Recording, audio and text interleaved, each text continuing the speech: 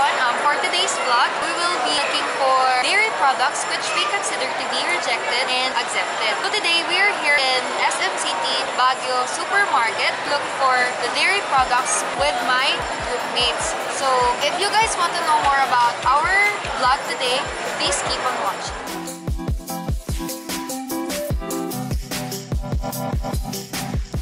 There, Ioni. This is cheese.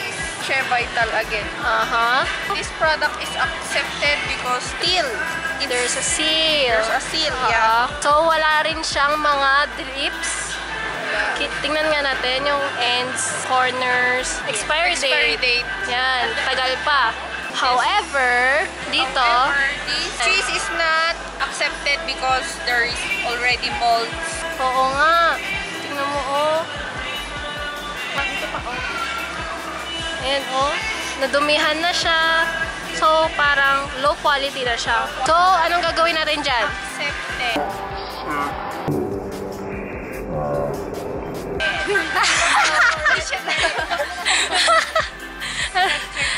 Ay, oh. So, what? Ayan. Pasteurized siya. So,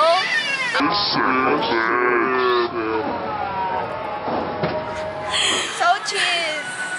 cheese. Tas, kita nyo naman, di ba, may seal. Proper. Ah. Tapos, ang ganda ng packaging.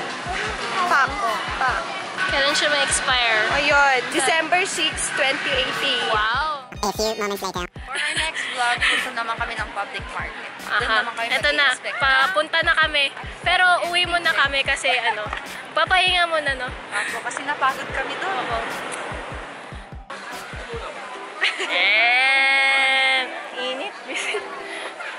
so, andito po kami ngayon sa, anong tawag dito? Market, market, market, market.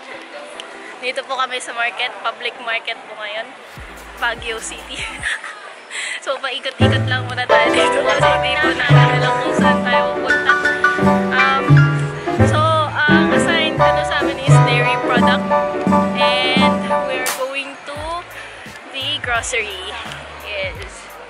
So, let's go. Ito, ito, ito. Ito, ito. Na. Try natin dito. So, andito na po kami sa groceryhan ng Caroline. Caroline, Caroline. And, mag-hunting kami ngayon. Let's hunting. Ginagawa mo.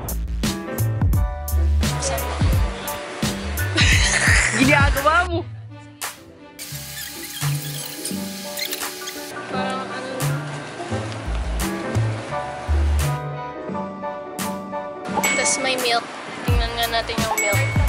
Tingin tayo dito sa milk.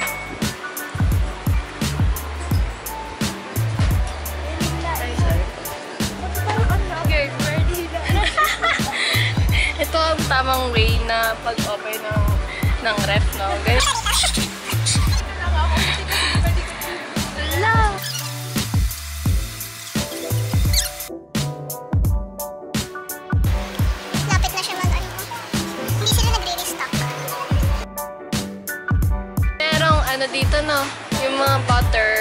okay lang siya na nandyan. Well refrigerated.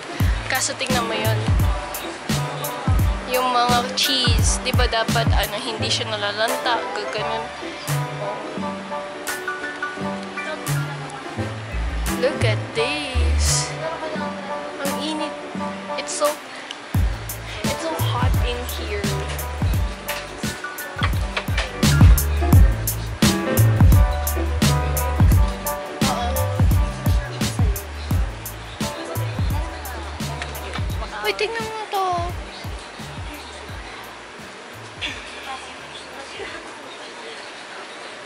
Ang lambot niya? Kasi hindi siya na-ref.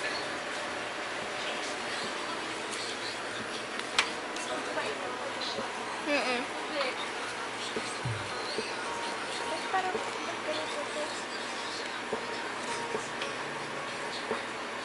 Inamoy mo talaga.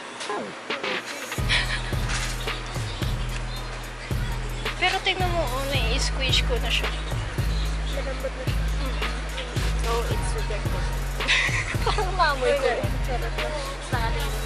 October pa lang. October pa rin naman.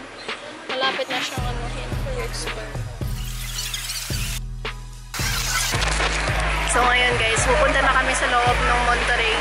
And uh, i-off po namin muna ito para hindi po kami na mahuli. 12 seconds later.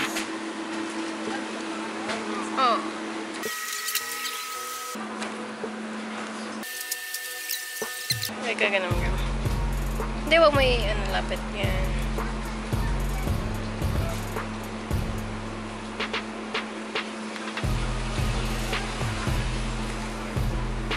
Kailan yung expiration date?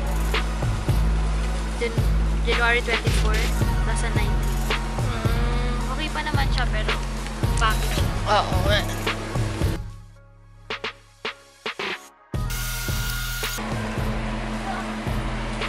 So, hindi rin namin to tatanggapin kasi merong ganyan.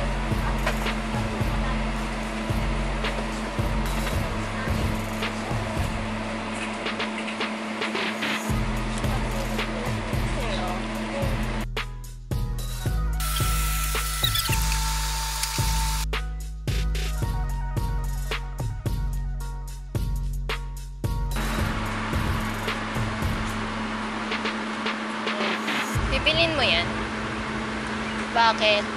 Kasi po, yung packaging niya, punit-punit na. Tapos yun.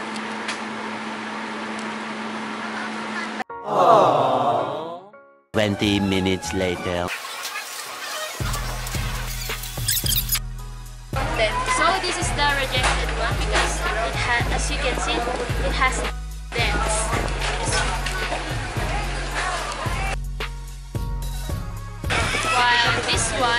is the accepted because as you can see, not like from the other one, it is the packaging is so beautiful.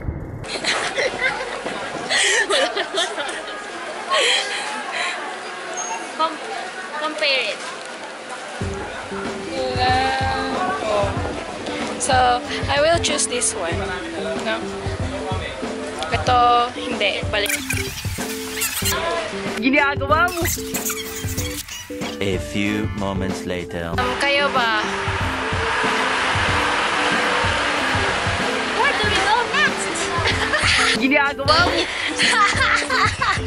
Ulit nga! Ulit. So, ngayon mag ah, i-interview ako ngayon ng dalawang tao dito kung ano yung mas napapalagay nilang pagbili ng dairy products. So, may we call on Hela Joy and Merly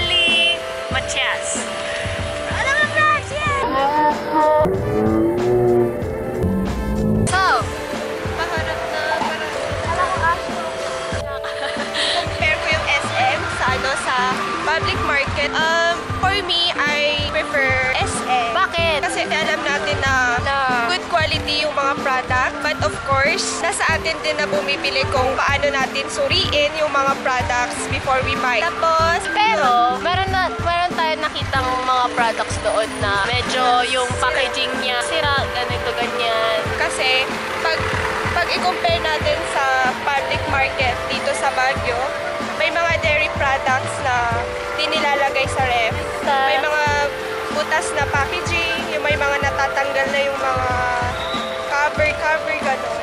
So, in short, you prefer SM. Okay. Anong mas gusto mo? SM o yung na ano natin sa market? Although meron namang pagkakaparehas. Sa SM kasi, rejected din na mga dairy products, pati na rin sa public market. Pero mas safer na gamitin yung mga nasa SM kasi araw-araw nilang chinecheck yun. Kumbaga dito sa public market, parang wala lang, parang inaayos-ayos lang nila, hindi nila tinitingnan. So I will choose SM. Ako, Mara.